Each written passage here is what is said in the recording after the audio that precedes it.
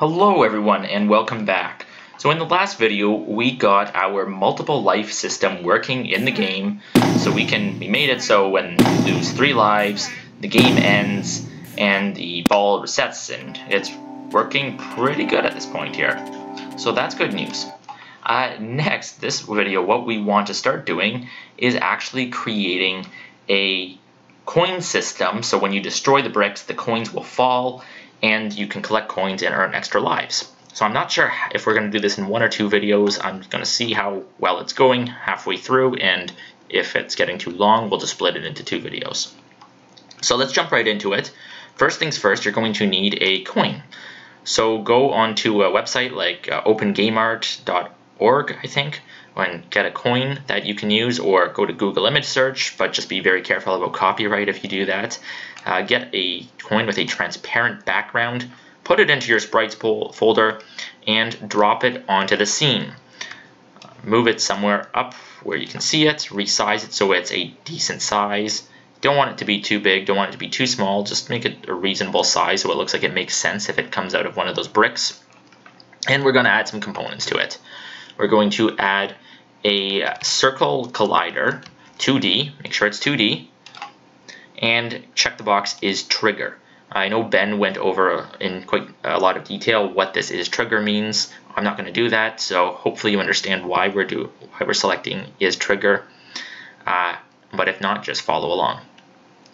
Next, you're going to add a rigid body 2D component so it interacts with physics. We're not going to make it, it is kinematic, otherwise it will just sit there and we can hit play and see what that's going to look like. So it becomes a falling coin, that's a decent size, but if you notice there's immediately a problem when it falls down. A, it does not interact with the paddle, and B, as soon as it hits our lose collider, we lose a life. Well, that doesn't work because we don't want coins to be making us to lose lives, we want them to be having us gain lives. I am happy with the gravity scale, though, how well it falls. It seems like it falls at a, de at a decent pace, so I'm not going to play around with any of that stuff. So let's take care of that first problem right away and knock that out of the park. So since it interacts with our lose collider in a way we don't want it to, we're going to open our lose collider script. But before we do that, we're going to add a tag to this coin. And I've already created it here. So if you haven't, just go to add tag and create a tag called collectibles. Uh, and then once you do that, actually click the uh, coin and add that collectibles tag onto it. And then you can just go ahead and turn that coin into a prefab right away. Okay, so now we're going to go ahead and open that lose collider script. So right away, take a look at this on trigger enter 2D stuff because this is controlling what happens when the ball interacts with the lose collider. But the coin isn't a ball. We don't want the coin to behave in that way. So there's a very simple solution for this. Just going to make an if statement and say if trigger dot tag does not equal collectibles, then we are going to execute all of this code. Make sure to add the closing bracket at the end. And then we're also going to make a second if statement just to be tidy and say if trigger.tag does equal collectibles, spell it right, then, and add the right brackets as well, that would be helpful. And then what we are going to do is destroy trigger.gameObject, just to destroy that coin, because if there's a lot of coins falling, we don't want them to be remaining in the left side on the hierarchy over here. So let's test if that works. Watch it fall. And fantastic, it does not make us lose a life. However, it does dis disappear right away, which isn't quite the behavior we want to happen. So we can fix that simply by adding a delay to this destroy command. We do that by typing comma space 1f, which means destroy this coin, but only after one second has passed. And we'll just try that one more time to make sure it's working. Fantastic. It is, so that looks really good, and it disappears from the hierarchy, so if there's a lot of coins falling and we're not catching them, we are still in good shape. So that's perfect. From here, we're going to go and open the paddle.cs script. So if you don't have that open yet, go ahead and open that up now and we are going to start by doing a few things. So number one, we're going to have to keep track of uh, the actual coins. So add a public static boolean, and we'll just call it coin count. And the reason we're making it public and static is because we only want to declare this variable once. If we load up, when we load the second level, we don't this we don't want this to reset itself to zero, which is what it's set to by default. We only want it to set itself to zero the first time the game runs. And actually, to that extent, we're going to have to take this a little bit farther. Uh, so like right here in the lose collider script, where we did this thing with this public static bool first level loaded, we're going to basically do the exact same thing in the paddle script. I'm just going to copy paste that boolean over here into the paddle script, then go into the start field, and we're going to copy paste this code over here and then we can drop that same code here into our start. And over here instead where it says number of lives equals 3 we're going to say coin count equals 0 and this is basically just saving us if the uh, game is restarting over if we've lost and we're restarting it we're still going to start with the default coin count of 0 because uh, as I said this will only declare itself up here the first time uh, on run. After that, we need to redeclare it. And that's just our little trick of doing exactly that. And then one more thing, under the lose collider, uh, where we have said first level loaded equals true, uh, this is a different first level loaded, so we're going to say paddle dot first level loaded equals true. So just when the game resets, uh, that changes as well. So that's perfect. That will take ensure that we have the appropriate starting coin count at all times. Next, we are going to add a another method over here, and we're going to, at the bottom of the paddle script, and we're going to call this void on trigger enter 2D, uh, 2D with a capital D, and then put collider and name it trigger just like in the other script to make it very, very similar. And here we're going to say if our trigger.tag is collectibles. So basically if our paddle is hitting a coin and not the ball, we are going to do this stuff.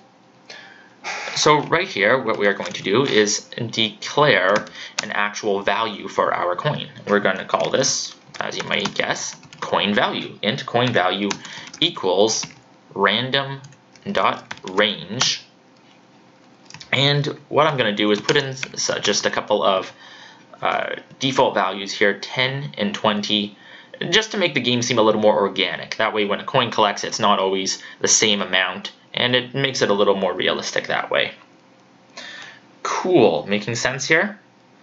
Uh, and finally, what we want to do is say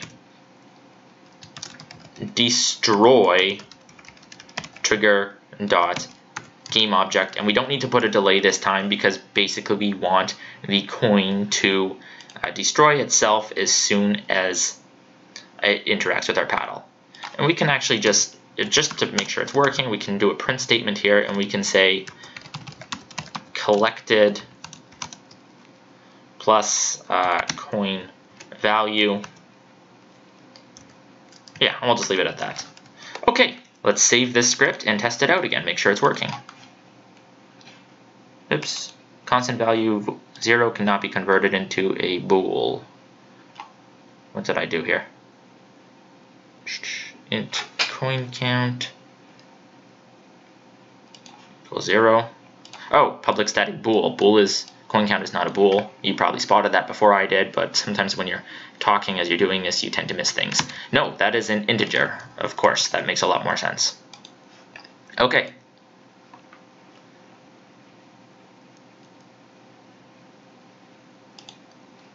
There we go. I have one more error here. Script error on trigger enter 2D.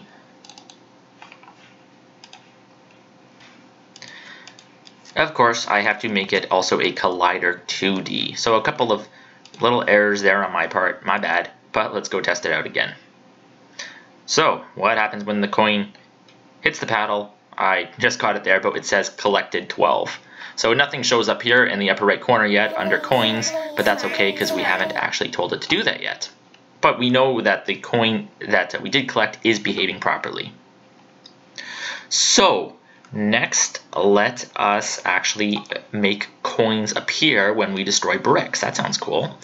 And to do that, we are, of course, going to have to interact with our brick script. So under here, we are going to have to declare a uh, private game object. I'll just call it coin. But right above here, we're also going to have to type serialize field, which makes us able to actually attach a coin to a brick in the inspector.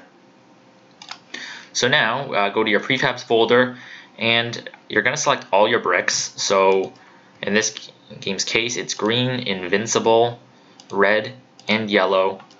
And over here in the inspector where it's asking for a coin, we are going to give it a coin. We're going to give it the coin prefab and just attach that right on. Now you might be wondering why am I selecting the invincible brick uh, if it cannot be break broken?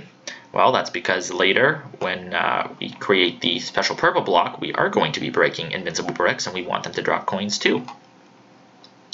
But for now, that is good. So, next we're going to make the brick actually uh, spawn a coin when it's broken.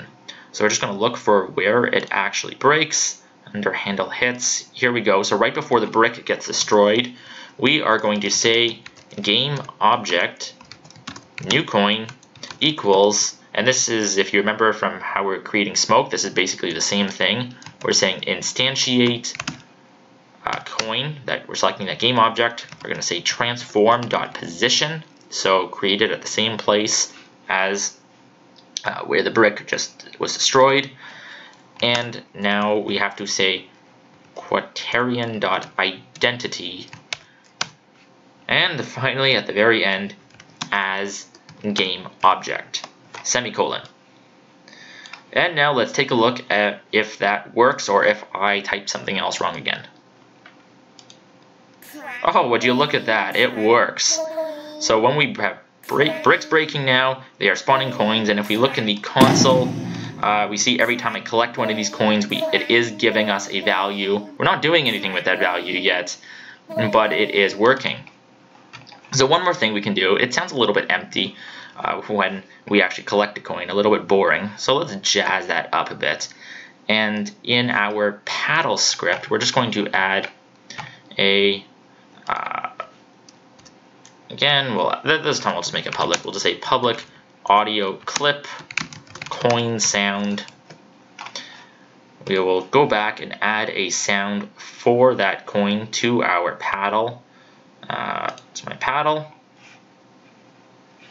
It's asking for a coin sound, so I'm going to go over here and which one is it? Do I have a coin? Hold on, let me go grab a coin from my coin folder. Sound effects. So I'm going to use this bell drum high, change that into a 2D sound, apply it, and now go back to my prefabs, go onto my paddle, sound, and change this bell drum high, attach it on here, and at the same spot where we just where we collect our coins in our paddle script, we are now going to say, uh, if it is a coin, we're going to say audio source dot play clip at point open bracket coin sound and give it a value of 1f and now let's see what happens uh, I'm typing something wrong here audio source play dot play clip at point oh you need to give it its transform dot position first transform dot spell it right position 1F. And let's see what happens. Oh, beautiful. Okay, I think this video is getting a little long, so we'll probably split it up into two from here. And yeah, we're up to 15 minutes already, so I'm going to cut this one off here, and we'll look at continuing, uh, actually show, uh, uh, we'll continue this in the next video by making our coin score up in the upper right corner, add, and uh, when it hits a certain predefined amount, we'll actually make our player gain extra lives. So thanks very much for watching, and see you in the next video.